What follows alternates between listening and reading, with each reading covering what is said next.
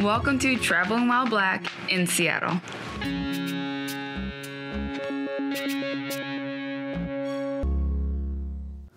Hey, what's up? I'm Anthony. This is my wife Marley, and welcome to another episode of Traveling While Black in Seattle. Yes, welcome back, everyone. As a brief reminder, our show is based on our experiences in and around Seattle, and we base those experiences off of how good of a drive it was, how much fun we had, and most importantly, how comfortable do we feel as Black people visiting for the first time.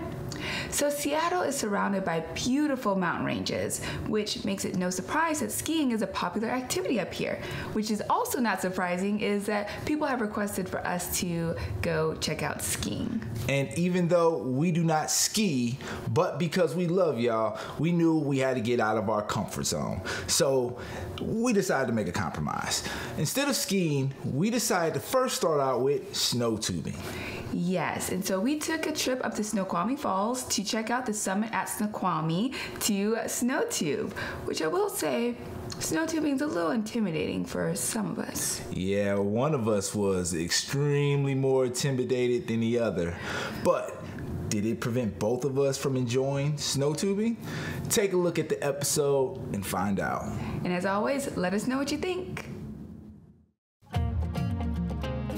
Seattle is surrounded by beautiful mountain ranges, and because of that, it is no surprise that skiing is a popular activity up here. So, it should also be no surprise that a lot of viewers have requested that we do a skiing episode.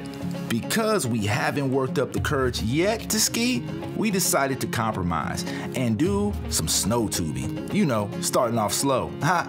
That's why we headed to Snoqualmie Pass to visit the Summit Winter Resort, which offers snow tubing. Even though tubing seems like it takes less courage than skiing, for some people it's still a lot of buildup, and for some, even impossible. Drive grade. Our drive to the summit at Snoqualmie Pass took us about 47 minutes. For us, it was a direct shot right up by 90. The drive was not bad at all. In fact, we actually really enjoyed it, which is usually the case anytime we head up this way. Yeah, the views are awesome, even on a cloudy day like the day we went. And the closer you get to the pass, the views get even better. Yeah, we love drives like this because it gives us a chance to take in some of the landscape that reminds us of why we love living here. We have to say, even though the drive isn't bad, the parking situation is another story, at least on busier days. And in fact, it was the parking that contributed to our little uh, misunderstanding. Still, as far as for the drive itself, really no complaints. So for drive grade, we give it a 5 out of 5. Level of fun. Whether you're skiing or snow tubing, having the right gear is really important. Just as important, at least for me, is having fashionable gear. Once we had the gear, we were ready for some snow tubing. After searching for a good while for some parking, we finally found a clutch spot that we didn't hesitate to pull into. Hindsight, we probably should have hesitated and read some more about the resort. True.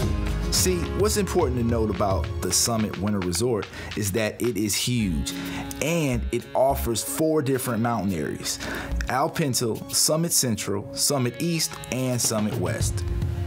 This is important to note for you all because we got off the highway and found parking at Summit West, but the tubing park is located at Summit Central. The parking attendant at Summit West, after informing us of where we needed to be, warned us that it was not recommended to walk to Summit Central. But we weren't trying to lose our parking spot that we worked so hard to find. That's why we decided to walk. Yeah, and we walked and walked and walked. After a while, we verified that we were halfway. We can't lie, the walk was horrible. Yeah, we should have listened. But finally, after the long hike, we made it to the tubing park. A little fatigued, we walked up to the entrance and showed our tickets we purchased online, and we were in. The park was filled with snow tubers, and you can feel the fun energy just by looking at the site. Some of us may have felt a nervous energy, but still, we grabbed our tubes and headed towards the top of the slope. The park does have a standing lift that takes riders up to the top, but that line was too long. So since we were in our walking mood, we just hiked up.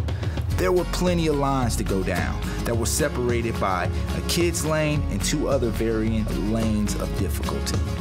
Finally, it was our turn. Again, we had never been snow tubing before, and looking down at the slope made it set in that this was real. Unfortunately, I couldn't do it. I had to face the embarrassment of walking back down the hill. Me, on the other hand, I did it. As a matter of fact, I went down a few times. It was a blast. After my final time down, we just sat at the bottom and just hung out. Even though I didn't snow tube, I still had a blast, just being in an environment made for a great day. The summit does offer a lot more than just tubing, skiing, and snowboarding, like lodges, restaurants, and bars. Yep. And we plan on covering all of that more in depth when we return for our skiing episode. Yeah, right. They also offer lessons, babe. It'll be fine. But we'll see. Anyway, for level of fun, we give a 5 out of 5 comfortability for black people. So, there was some diversity at the resort, and believe it or not, we actually saw quite a few other black people. Yep, believe it or not, black people do ski. As far as the staff work in the resort, everyone was friendly and very helpful. Yes, everyone seemed to be in a great mood and enjoying their time, and we absolutely felt comfortable. Uh, except on the tubing slope, of course. Speak for yourself. we most def recommend y'all checking out the Summit at Snoqualmie Winter Resort. For comfortability for black people, we give a 5 out of 5. We hope you found this episode to be helpful and entertaining. Be sure to check out our previous episodes. Yes, and don't forget to subscribe to our YouTube channel and follow us on TikTok, Instagram, Twitter, and Facebook. And check out our merchandise on travelingwhileblackseattle.com.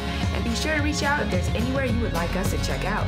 Until next time, beautiful people, stay up, stay true, and do you.